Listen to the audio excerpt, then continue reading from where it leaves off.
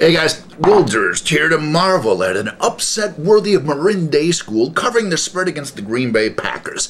The coveted Clueless Cup is about to be wrenched from the clutches of George W. Bush for the first time in eight years by the National Board of Economic Research, which has concluded that yes, your suspicions are correct. We are indeed in a recession. Who knew? Not only that, but it started last December. Nobody ever suspected. No one, except for that tiny small group consisting of me and you and the rest of the planet.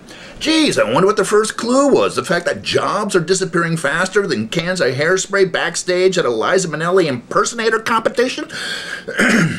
I wonder how you get a job with the NBER because that sounds like something that I would be good at, telling people stuff they already know. Why, were you aware that when water becomes extremely cold, it gets solid and it comes in handy for chilling liquids? Yes, of that, but blood, most effective when kept inside the body. Now, where's my research grant?